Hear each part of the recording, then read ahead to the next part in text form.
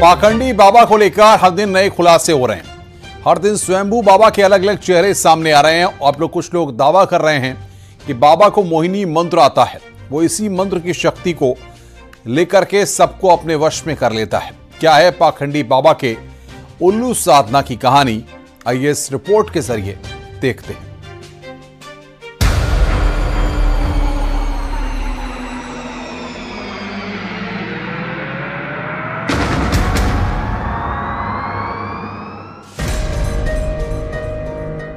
पाखंडी बाबा का मोहिनी मंत्र।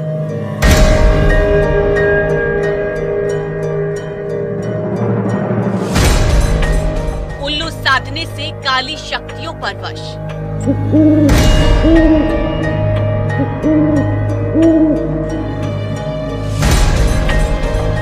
वशीकरण के खेल का माहिर खिलाड़ी।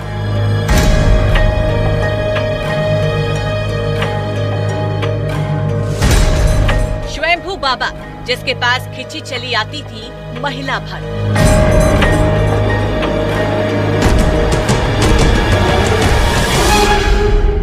साल 2002 अमावस की रात।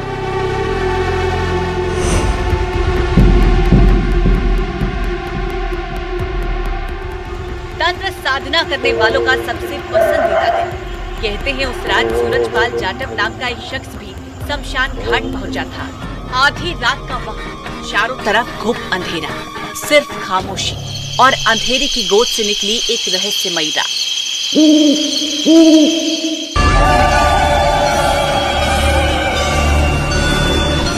अंधेरे में दूर कहीं मंत्रोच्चारण की आवाज़ें आ रही थी। अंधेरे को चीरती एक रोशनी आगरा वालों को दिखाई दे रही थी, लेकिन उस रात का सच कोई नहीं जानता। सिवाय सूरजपाल जाटव के। ये कहानी है सूरजपाल के पाखंडी बाबा बनने की। यहाँ के लोग कहते हैं कि उल्लू की साधना कर बाबा ने काली शक्ति और मोहिनी मंत्र पर सिद्ध हासिल की है। सूरजपाल जाटव ने इन्हीं काली शक्तियों के माध्यम से दौलत और शौरत हासिल की है। लेकिन दावा किया जाता है कि ये काली शक्तियाँ बलि मांगती हैं।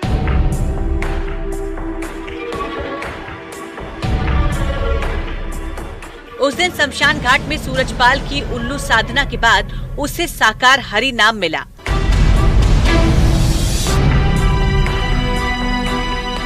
अब काली शक्तियाँ उसके कब्जे में थी। मोहिनी मंत्र से वो जिसे चाहता अपने वश में कर लेता। लोग कहते हैं कि इसी मंत्र की बदौलत उसने लोगों पर वशीकरण किया। और महिलाएँ, लड़कियाँ, उसकी ओर खींची चली गईं।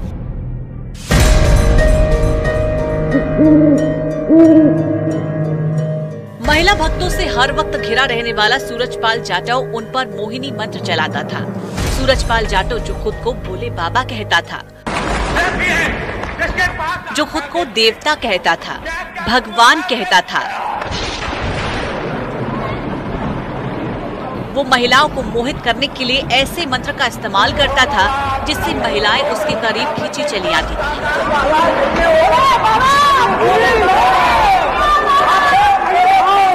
दावा किया जा रहा है कि बाबा के पास एक ऐसा मोहिनी यंत्र है जिससे वो कम उम्र की लड़कियों को आकर्षित करने का ढोंग रचता था। इसी हथकंडे को उसने भक्त मोहिनी मंत्र का नाम दिया था। हालाँकि कासगंज में सूरजपाल जाटव के मोहिनी मंत्र की अलग अलग कहानियाँ हैं। महिलाओं से घिरे रहने के लिए सूरजपाल जाटव ने कैसे स्वांग रचा था, उसे भी जानिए। नहीं है, ये बवाल है। ये समझ लीजिए वहीं से हम लोग हमारा पूरा गाँव देखने के बाद में हमारा गाँव हवन उस पास पर नहीं जाता है। फिर तो इन्होंने आब, अपना आडम्बर रच दिया है कि पैर में पद्म दिखाते हैं कि उंगली में चक्र दिखाते हैं कि मैं विष्णु अवतार हूँ कि मैं ये गाँव भस्म कर दूँगा कि वो गाँव भस्म कर दूँगा दमंगई दिखाते हैं। महिलाओं को मोहपाश में फंसाने के लिए सूरजपाल जाटव बाहर से लड़कियाँ बुलवाता था। दावा किया जा रहा है कि इन लड़कियों को बाबा के सामने रूपक बनाकर लाया जाता था। इसके बाद लड़कियाँ दूध में नहाती थी। स्नान के बाद ये सब बाबा को खीर खिलाती थी। खीर चखने के बाद सूरजपाल जाटव लड़कियों के साथ झूम कर डांस करता था। रूपक बनकर आई लड़कियों को सूरजपाल जबरन डांस करवाता था। एक बार उसने मोहिनी मंत्र चलाना शुरू किया। इसके बाद सूरजपाल जाटव महिला भक्तों के साथ रासलीला का स्वांग भी रचता चला गया। जन्माष्टमी के त्योहार पर सूरजपाल जाटव कान्हा का रूप धरकर रास रचने के परपंच भी दिखाता था। बाबा खुद को कान्हा का रूप धरकर ढोंग करता था, लेकिन गोपियाँ बनी महिला भक्त नॉर्मल कपड़े में ही रहती थी। जन्माष्टमी में और पंद्रह अगस्त में ये अपना जन्मदिन मनाते थे। तो यहाँ डिक्लेयर कर दिया सोने का झूला पड़ेगा, उसमें झूलेंगे, कन्हैया जी बन करके, कि जन्म होगा इनका। वहाँ देखे तो भाई रस्सा पड़ा, अपन आराम से भाई भाई झूल रहे अपने तो हमें तो देखे, हम बच्चा बनाएँगे, बच्चे उन्हें बनेंगे तो। आदमी जेंट्स से नहीं मिलता था। लेडीज़ एक से एक, पता नहीं सुंदर से सुंदर कहाँ कहाँ से आती थी। तो ऐसे करके ऐसे चेहरे पर हाथ मिलाया मिलाया करती थी वहाँ पे। हम तो ये देख करके बड़ा दुखी हो गया हम अब जाना यहाँ बेकार है। सबसे डरावनी कहानी आश्रम से जुड़ी महिला भक्तों की है। सूरजपाल बाबा के आश्रम में उसके सारे काम के लिए सिर्फ़ महिला भक्तों को रखा जाता है। महिला भक्त बाबा के लिए क्या क्या करती हैं, इसकी जो जानकारी सामने आई उसके मुताबिक बाबा की सेवा में सिर्फ़ सुंदर लड़कियों को लाया जाता है। महिला भक्त बाबा सूरजपाल के कपड़े धुलती हैं। महिला भक्त ही बाबा सूरजपाल को स्नान करवाती है। बाबा सूरजपाल के आश्रम में सामान्य नैन नक्श की महिला भक्तों को भगा दिया जाता है। महिला भक्तों को घसीटकर आश्रम से बाहर निकाल दिया जाता है और वो ये सब मोहिनी मंत्र के दम पर करता है। काली शक्तियों के जादू से वो महिलाओं और लड़कियों को वश में कर लेता है। दावा ये भी किया गया कि मोहिनी मंत्र के कारण ही किसी लड़की ने आज तक उसके खिलाफ कोई आवाज़ नहीं उठाई। लेकिन पाखंडी बाबा के काले साम्राज्य पर अब इंसाफ की रोशनी पड़ चुकी है। बाबा का चेहरा सबके सामने आ चुका है, जो उसे भगवान नहीं मानते थे। सच सामने आने के बाद नफरत करने लगी है, यानी देर लगी, लेकिन पाखंडी बाबा का सच सामने आ ही गया।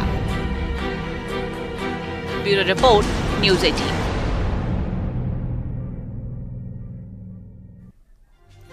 बाबा सूरजपाल की दुनिया जितनी रहस्यमयी थी, उससे भी ज़्यादा रहस्यमयी। उसकी आर्मी थी। जी हाँ, उसकी सेना में सिर्फ़ पुरुष ही नहीं, बल्कि वर्दीधारी महिलाएँ भी तैनात रहती थीं। इन महिला सुरक्षा कर्मियों को अलग अलग ज़िम्मेदारी दी जाती थी। इसके साथ ही बाबा की निजी सेना में ब्लैक कैट कमांडो और गरुड़ कमांडो भी तैनात रहते थे। इस रिपोर्ट में देखिए, बाबा का रहस्यमयी लोक।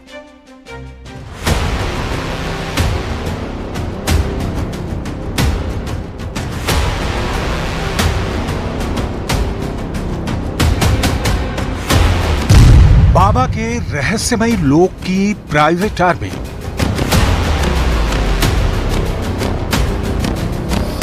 बाबा के खतरनाक ब्लैक कमांडो।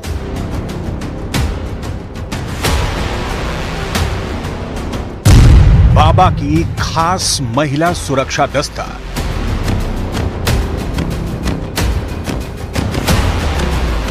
बाबा के रहस्यों से एक एक करके पर्दा उठ रहा है और इन रहस्यों में सबसे दिलचस्प है ये पिंक आर्मी जिसमें 5000 से ज़्यादा जवान शामिल हैं। और इससे ज़्यादा चर्चा में है बाबा की महिला सेना, जिसे बाबा सूरजपाल ने एक खास ज़िम्मेदारी दे रखी है।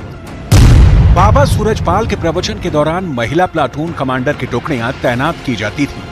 इन महिलाओं को जल सेवा और सुरक्षा सेवा प्रमुख की ज़िम्मेदारी दी जाती थी। इन महिला कमांडरों की ड्यूटी की जगह भी तय रहती थी। इनको पुलिस की तरह बाकायदा बैज और आईडी कार्ड भी दिया जाता था। बाबा सूरजपाल के हर सत्संग में इन महिला कमांडो की फोर्स नज़र आती थी। सत्संग को भी थ्री लेयर सिक्योरिटी में इस महिला प्लाटून कमांडर की टुकड़ियों का अहम रोल होता था। जब भी बाबा अपने प्रवचन के लिए सत्संग स्थल पर जाते थे, तब उनके आगे पीछे कुछ टुकड़ियाँ चलती थी, जिनको अलग अलग नामों से जाना जाता था। हम आपको ऐसे एक्सक्लूसिव दस्तावेज़ दिखाएँगे जो बाबा से जुड़े हुए हैं, जो यही कथा स्थल के पास में पाए गए हैं। मैं आपको दिखाऊँगा आप देख सकते हैं कि ये एक कार्ड है जिस पर जल सेवा लिखा हुआ है। ये कार्ड पुष्पा का है, पुष्पा, और जो कि मथुरा की रहने वाली हैं। ये नारायणी सेना की कार्ड है। नारायणी सेना से जुड़ी हुई महिलाएँ हैं। और भी मैं आपको ऐसे कई अहम कार्ड दिखाऊँगा, जो बाबा की सेना में रहते थे। ये आप देख सकते हैं, ये कार्ड है, जिस पर लिखा हुआ है, सुरक्षा सेना। ये बाबा की सुरक्षा सेना में तैनात मीरा देवी का कार्ड है, जो कि हाथरस का है। ऐसे कई अहम दस्तावेज़ न्यूज़ 18 के हाथ में लगे हैं। न्यूज़ 18 अपने करोड़ों दर्शकों को दिखा रहा है कि आप देख सकते हैं, ऐसे कई कार्ड हैं यहाँ पर, जो ये ये कार्ड आप देख सकते हैं। ये जल सेवा का कार्ड है, जो जल की सेवा कार्यक्रम में आए जितने भी भक्त थे, जो बाबा के प्रवचन सुनने आते थे, उनके, उनकी सेवा में लगे हुए जो भी लोग थे, उनको बाकायदा कार्ड बनाए जाते थे, जो जो कि आप देख सकते हैं जल सेवा, सेवादार का पहचान पत्र।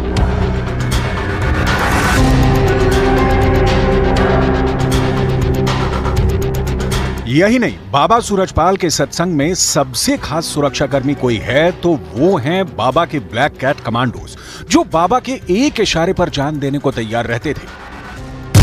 बाबा सूरजपाल की प्राइवेट आर्मी में नारायणी सेना, हरिवाहक और गरुण योद्धा नाम की तीन टुकड़ियाँ हैं।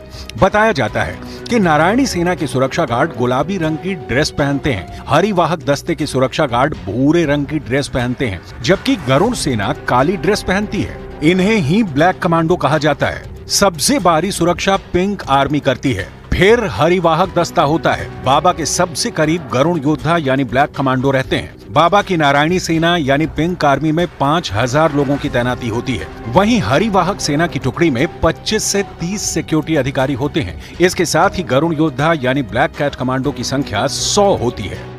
जिस तरह से आर्मी में कई बटालियन बनाई जाती हैं, कई प्लाटून बनाई जाती हैं, इसी तरह से बाबा की सुरक्षा में भी प्लाटून बनाई जाती थी, जो कि उनकी सुरक्षा में आगे पीछे लगती थी। Black commando Garud commando Narayani Sena ऐसे कई नामों से बाबा की सुरक्षा में तैनात जो लोग लगाए जाते थे, उनको ये कैडर दिया जाता था। अब हम आपको दिखाएँगे ये एक पेपर है। इस पर साफ़ तौर से आप देख सकते हैं, नारायण सरकार का नाम लिखा हुआ है सदा। और ये प्लाटून नंबर वन है। Platoon number one section one इस पे इन सभी के नाम हैं जो बाबा की प्लाटून नंबर वन में लगे हुए थे और सेक्शन वन है। ऐसी कई तरह से और नीचे भी आप देख सकते हैं। इस पे साफ़ तौर से दिख रहा है, प्लाटून नंबर वन और सेक्शन टू। आप देख सकते हैं कि सेक्शन वन में लगभग ग्यारह लोग हैं। ग्यारह लोगों का नाम, उनके पिता का नाम और उनका पता और उनके मोबाइल नंबर और सेवा, जहाँ उनकी सेवा लगी हुई है बाकायदा उसमें साफ़ साफ़ तौर से देख रहे हैं आपकी पूरा समीक्षा रिपोर्ट भी है इसमें। कुसुम देवी ने इस पूरे की समीक्षा की है और उसके बाद ये कागज़ तैयार किया गया है। बाबा की आर्मी में उनके अनुयायियों को ही शामिल किया जाता है। उनकी प्राइवेट आर्मी में 18 से 40 साल के युवक ज़्यादा होते हैं। इन्हें ड्रेस दी जाती है, जिसके साथ में सीटी और डंडा भी होता है। बाबा की सुरक्षा थ्री लेयर सिक्योरिटी में सबसे करीब कमांडो रहते हैं। और बाबा की सुरक्षा और सत्संग में तैनात उसकी निजी सेना के जवान भीड़ को अपने कंट्रोल में रखते थे। यहाँ तक कि सत्संग का वीडियो भी बनाने से लोगों को रोकते थे। जैसे कि भगवान कृष्ण ने अपने हाथ में सुदर्शन चक्र उठाया था। ऐसे ही बाबा का ये एक लोगो है।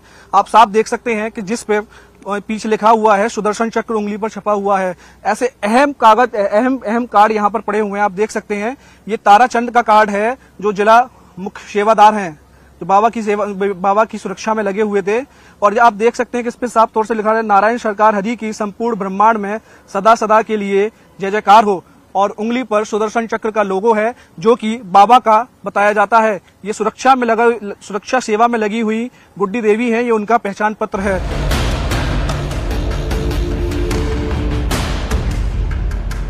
मतलब बाबा अपने हर सत्संग में अपनी सुरक्षा की पूरी प्लानिंग बनाकर चलता था। इसके बावजूद भी उसके इन सेवादारों की वजह से हाथरस में इतना बड़ा हादसा हो गया। हाथ में लाठी और सीटी लेकर हज़ारों की संख्या में इसकी ये प्राइवेट आर्मी अगर अपना काम सही से करती तो इतने लोगों की जान ना जाती। और उसके बाद ये कागज़ तैयार किया गया है। ऐसे ही एक और कागज़ यहाँ और भी मौजूद हैं, जो वर्दीधारी भाई बहन सेवादार हैं। इनकी उपस्थिति की सूची बकायदा तैयार की जाती थी। ये पूरे परफॉर्मा बाबा की सुरक्षा में लगने वाले उन सेवादारों के हैं, उन सुरक्षा कर्मियों के हैं, जिनकी सूची ये पूरी तरह से तैयार बाबा के लोग करते थे। आप देख सकते हैं, वर्दीधारी भाई, बहन, सेवादार, उपस्थिति सूची, जितने लोग उपस्थित होते थे, उनके नाम के आगे ए लगता था, पी लगता था। आप देख सकते हैं, साफ़ तौर से उनका नाम, बल्दियत क्रमांक और उसकी पूरी बाकायदा कई महीनों से इसकी पूरी तैयारी की गई थी। यानी सत्संग से जुड़ी हर सुरक्षा की ज़िम्मेदारी ये प्राइवेट आर्मी करती थी। यही नहीं, बताया ये जा रहा है कि भगदड़ के वक्त बाबा को सुरक्षित निकाल कर ले जाने वाली यही प्राइवेट आर्मी थी।